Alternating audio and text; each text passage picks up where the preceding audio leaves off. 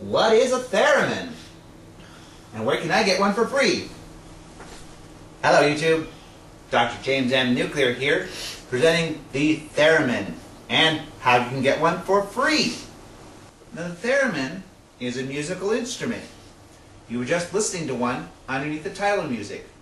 You may uh, be familiar with the sound from early 1950s sci-fi monster flicks or even earlier radio programs. It is a device that usually looks like about this big and it has two antennas. It actually uses human capacitance, which we all have, to detect how close someone's hands are to these antennas.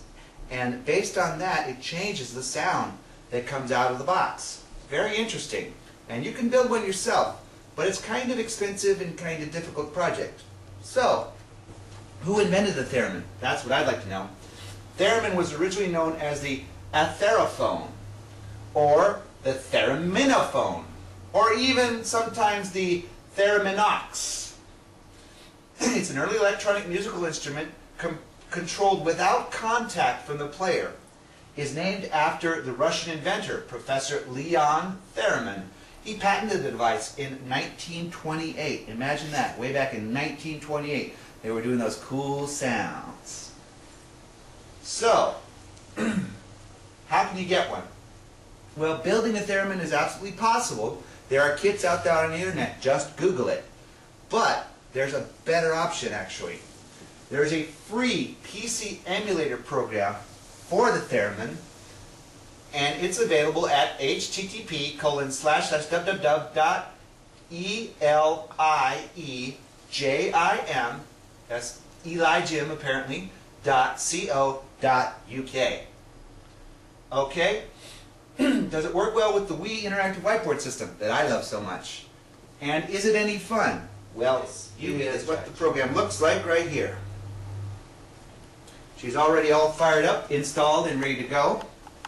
What you got here is your own PC Theremin. The low notes are down over here, and the high notes are up to the right, just like on a piano keyboard. It goes very high, goes very low, and it makes some really, really cool sounds. Now watch this. I'm going to do the sound of an alien space saucer taking off.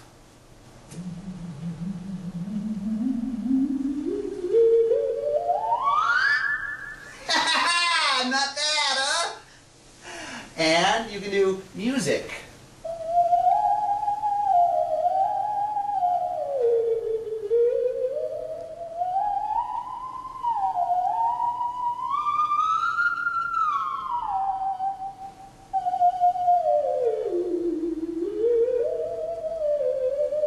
There's also a lot of other uh, parameters that you can play around with. You can make it sound a little bit different.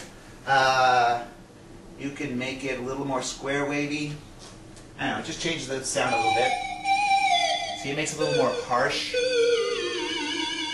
So this is a good way of introducing uh, actual electronics and waveforms to a class of students, and a very fun way to do it at that. So that's all I have for you today. Hope you enjoyed it. This has been Theremin by yours truly, Dr. James M. Nuclear.